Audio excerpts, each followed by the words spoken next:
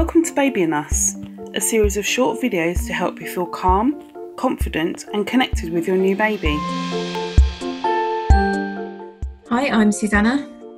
And I'm Leah.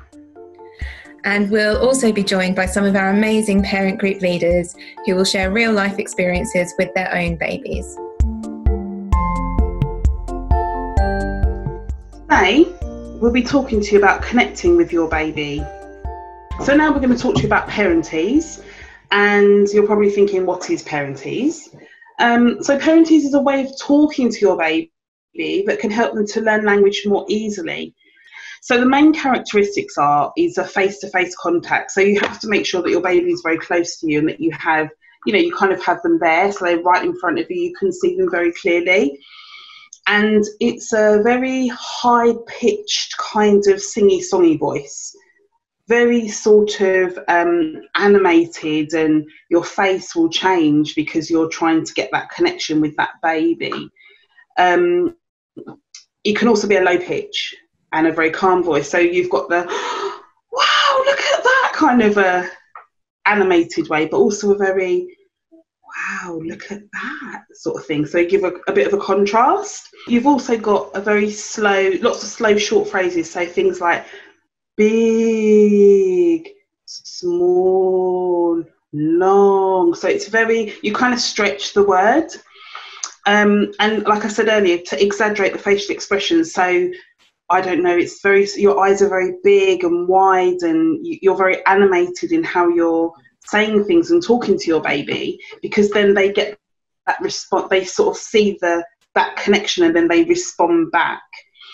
Um, and again, because you want to see that connection and that communication with them, you have to wait and sometimes wait a long time for them to react because obviously they're smaller and their brain is not as developed as ours. So they might, I don't know, they might do something and you go, wow. And then you have to wait because then you need for them to be able to see what you've done, take it in, process it to then give you that response. So that's quite a, a, long, laborious process sometimes because it takes a while to, to get that reaction. But as they get older, it gets better. Um, and clear articulation of words. So you say it's a dog. Again, you've used all the things that I've just described and you've said what it is.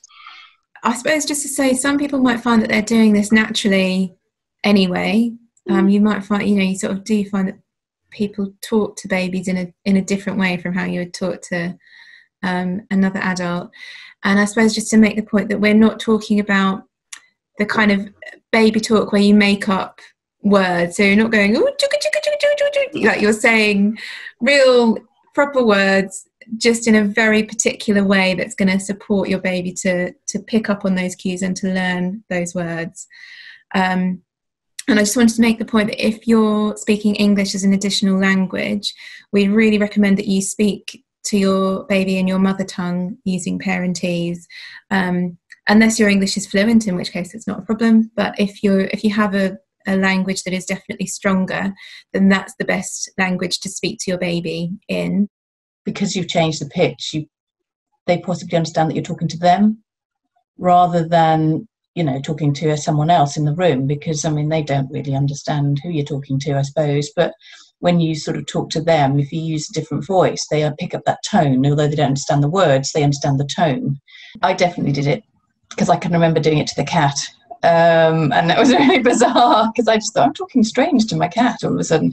I suppose right from when the girls were were really tiny babies, when they were awake and when they were alert, you know, you'd hold you'd hold them uh, in two hands and you just look at them and be really animated and and just just talking to them, but but using a, a slightly higher voice probably, uh, and and and just making fun with the words uh, so they could hear the sounds. Uh, and I've noticed that both my daughters have done that with their children.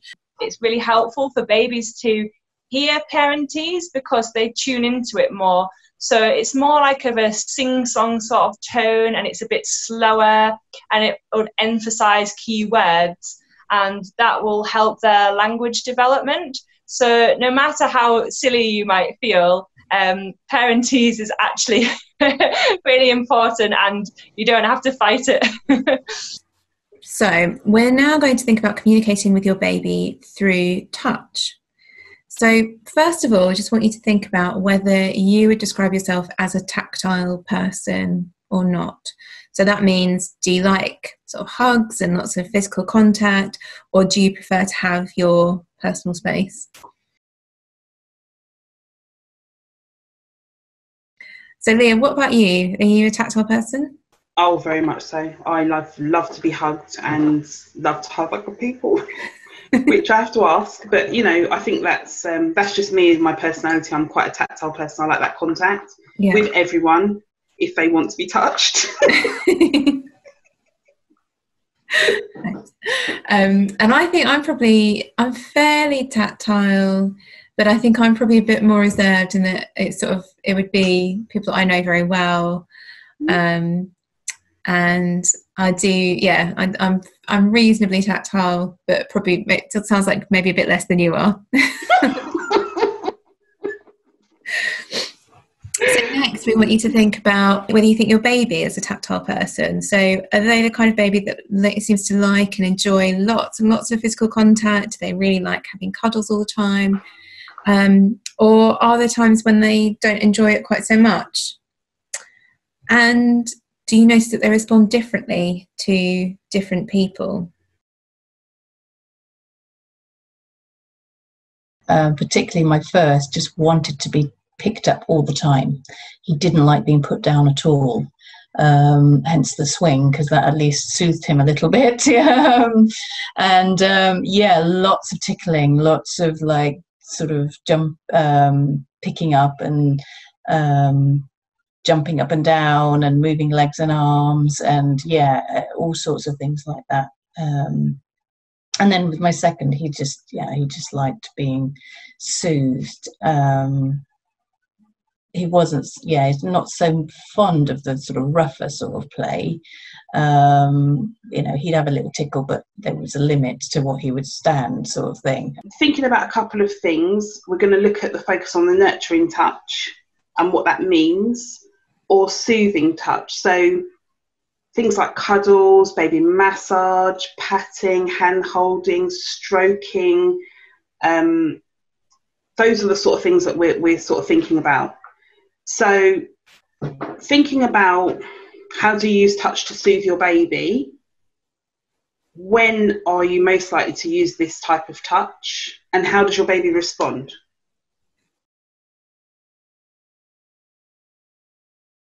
And then there's playful touch, things like dancing, tickles, and nursery rhymes with movement because they're more about playful touch than they are about a calming touch. And it's nice to be able to separate the two. A, because then your baby knows that you're not going to tickle them if they're crying because it's not going to work. Um, but thinking about the playful touch, it's how do you use touch to play with your baby? When are you most likely to use that type of touch? And how do they respond? So, um, I used to use so to soothe her. Um, it was often at a time when I thought she'd be getting sleepy, and um, she really liked being patted to sleep. So um, we used kind of like patting and stroking um, and cuddles quite a lot with her. That that that would really soothe her to get to sleep. Um, and she she would respond by sort of snuggling in and, and getting really drowsy um, and in terms of a playful touch, my son used to love rounds around the garden on the bottom of his feet.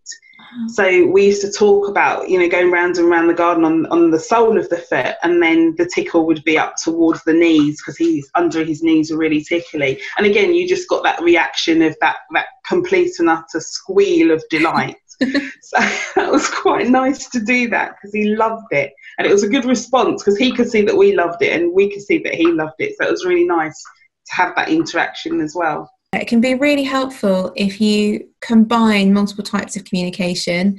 So when you're um, playing with your baby or soothing your baby through touch, um, just try to notice that you'll you'll probably be talking to them um, in another as well as using touch.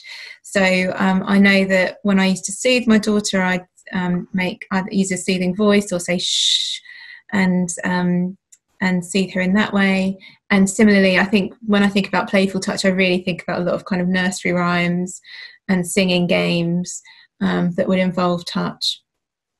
And again, that can be extra extra powerful for language learning. So, um, and it will reinforce any kind of sense of playfulness or soothing. We want you to have a think with about how your baby communicates with you through touch.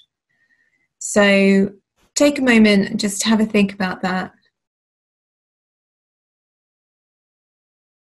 So there are a few different examples here. So it might be that they show you that they're enjoying being held by you, by snuggling into you and kind of, you know, settling in, um, or or um, losing some of that tension in their bodies. You know, if they relax into you, then you can tell that they're snuggling into you. Um, or if they've had enough, they might turn away um, and and show you that they want to stop whatever the interaction is. Um, or if you're touching them and they're enjoying it, they might smile and, and giggle. So we really want you to notice your baby's cues and look at what your baby's telling you um, in response to your touch and how they use touch to communicate with you. I like using touch to communicate with my babies because um, touch is a really important part of our, of like our communication. If um, my children are upset, even with my son, and he's a toddler now. You know, skin to skin, like um, it, it, releases oxytocin in me and in them, and that you know, calms them down. Um, it's like a very warm, relaxing hormone. Uh, I find that um, if they've got colic, I did this a lot for my son, and I'm trying to remember to do it for my daughter, like massage. Um, so massage uh, her tummy a lot, and that just helps if she's got gas or anything. When you're bathing a child as well, it's you know like they have the sensation of the water, and you're soothing them. You might be washing their hair, and then you're drying them. I think all those sorts of like gentle, caring things are nice for them. So, our take home message from today is um, using Parentese when we speak to our babies will help them to learn to speak. We can also use touch to communicate with our babies, and we can do this in a playful or soothing way. So, there are two things to try at home have a go at using Parentese, and notice how your baby responds when you use touch. And we'll finish with a song Round and round the garden, like a teddy bear. One step, two step, tickly under there. So I hope you found this useful and thanks for watching. Thank you for watching. We'll see you soon.